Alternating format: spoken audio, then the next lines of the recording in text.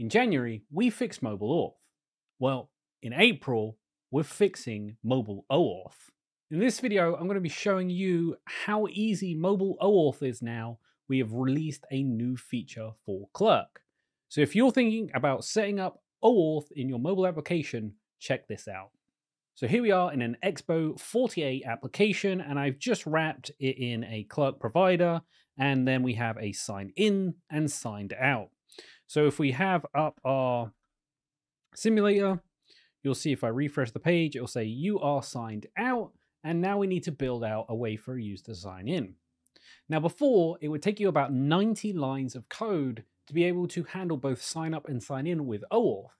But today we can do it in about 10 or 15 lines of code, maybe 30 if you're including a lot more checks and tries and catches and error handling, etc. So let's start this out. So first we want to create a new hooks folder and we also want to create a components folder. The hooks folder is going to contain a small hook that allows the browser to warm up when using Android. In the components here, we're going to create a OAuth flow that allows the user to sign in and it's very, very easy to manage. So let's start with this hook, which we can just call use warm up browser TypeScript, and this is where we're going to handle that. So first we need to import React from React. You could also just import use effects because that's the only React package part we're going to be using, but I like to keep it as the same as the documentation for right now. Then we need to import star as web browser. And that's going to come from Expo web browser, which is included when you start an Expo application. And that's all we actually need. Then we can do export const use warm up browser. It's going to take no arguments. And then inside of here is where we're going to warm the browser up using a built-in feature called warm async. So we're going to use use effect to do that to make sure that it is indeed warm when a user tries to use OAuth. So do react use effect and then inside the use effect, we can do web. Just realized there's a spelling mistake here. Be an extra B in here, web browser. So we'll use that. So we'll do web browser dot.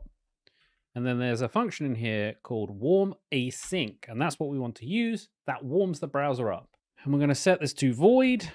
And then underneath this, we're going to do the return statement. So we can just do return and then inside the return function, all we're going to do is do void web browser dot, and there's this cooldown async, which also does the same thing.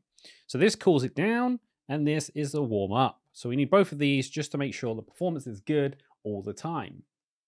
And then we have no dependencies, so we can just do this. And now we have this use warm up browser that we can use for OAuth. Now we need to create a component. So we'll just call this sign in with OAuth. And this is going to handle both sign in and sign up with one hook. So you don't have to worry about whether the user is new or old. And we handle all the transfers for you. So the only thing you really have to worry about is making sure the user goes through the flow. So here we're going to import React from React. We're also going to import star as web browser because we're going to need this as well, and that's going to come from Expo web browser. Then we're going to import a button, and we'll just have that from React Native. And then we'll also import use OAuth, which is this new hook that we just released. And then we'll also import use warm up browser. So first we want to do web browser dot, and there's this feature called maybe complete auth session. So we want to just go ahead and start that at the beginning. This just states that they're going to be using the web browser and we expect them to finish an OAuth state. They may or may not finish, but we expect them to finish it in this component. So now we can do sign in with OAuth. We'll make this an export const. We're going to take no parameters for this example, but you could push in the parameter for the button. So for example, if you wanted Discord, Google, Twitch, and maybe Facebook, you could pass in each one of those as a button and then make this reusable. But for this example, we're going to keep it all inside. So now we have that, we can go inside of here and we're just going to say use warm browser. So that the browser is going to be warmed up for Android. Then we need to do const and we'll do use OAuth. And inside of here, you'll notice that there is a single start OAuth flow, and this indicates that at some point during this whole function, we're going to start the OAuth flow. Then you just pass in the strategy that you need. So for strategy, for this example, we're going to do OAuth Discord because that's what I am using in this example. Then all we need to do is actually try the on press. So on press equals, I'm going to use React use callback here to handle this situation. So use callback makes it really easy to handle this OAuth flow. We're going to make this asynchronous. We're going to do a try catch here. So try, and then underneath catch. And inside of this try, we're going to attempt an OAuth flow. And this has changed dramatically since the last time we showed you anything with OAuth in the Expo space. So instead of doing a complicated sessions and rotating tokens and all that kind of stuff, all you need to do now is pass in the consts that we need, and that's going to come from start OAuth flow. So, and we want to make this an await because it is asynchronous. And then inside of here, you'll notice there are create session ID and also set active, sign in and sign up. So we'll actually grab this sign up one while we're here. So now we have all of that how do we start an OAuth flow? Well, it's actually already started at this point. So all you need to do is say if created session ID. So if there is a created session ID, all we need to do now is set it to active. So let me just get rid of this by getting rid of the red lines there. So at this point, we know that the user has successfully signed up or signed in to their account. So we can set it to active. So we can say set active, and we can say session and then created session ID. And that's it. So if they have that, then we're all set. But in some cases, there may be a situation where you haven't finished this, and we'll get to that in a minute. But for now, we'll just put else uh, console log failed to sign in or sign up. Check requirements. And then we just need a catch here. So we'll just do catch uh, error. Then we'll do console log error. Now this is a really basic implementation, but that is basically everything we need. And then we just need to do our return. So we'll just return and all we'll do is return a button and we'll give it a title and we'll say sign in with Discord. And then on press, we'll just handle it with on press. And that is all you need to do to do complete OAuth flows from beginning to end, including sign up, sign in, anything that you could possibly need.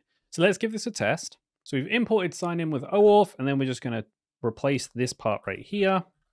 And then let's launch our simulator and see what happens. So we have this sign in with Discord now. So let's go ahead and click the button, click continue here, and you'll get launched into Discord. I've already authorized before, so I'm just going to click authorize. And you can see now it's set to you are signed in. So we know that we have an active session.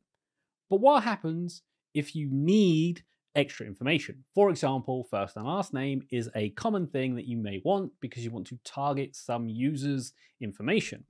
So let's just go ahead and update the dashboard for that. So here's the dashboard. We're going to go ahead and click name here, hit uh, required, and then hit continue, apply the changes. And then I'm going to delete the user so the user doesn't exist anymore. So if we go through the flow now and we authorize again, you'll notice that we've ended back up on the same screen and we haven't been signed in. Now, if we go to Warp and look at the log right here, you can see failed to sign in or sign up, check requirements. So we know there's a missing requirement here. There is a way that you can actually tap in to add the missing requirements. So I'm going to make it really simple for this example, but let's just assume at this point that we have a form that the user needs to fill in their first and last name. So what you can do is tap into this sign up requirement. So sign up, allows you to do sign up dot update, and then you can pass in the missing pieces of information. So in this example, I know last name is missing. So we'll just put Perkins in here. And then what we want to do is say uh, await, sign up, update this, and then set active, session, and then sign up dot created session ID. So even with this extra requirement here, we're still barely scratching the surface. This is 35 lines of code and we can now handle that. So if we go back to our simulator now and click sign in with Discord, click continue, and I authorize the user one more time, you are now signed in. And then if we go to our dashboard here and look at our users, you can see that like my first name happens to be what Discord has given me, which is the username, and then my last name is set to Perkins. I hope you enjoyed this tutorial, and if you made it to the end of the video, make sure you click this video right here. It's going to be algorithm driven and an absolute banger. And if you aren't subscribed to my channel, why the hell not? Click this button right here.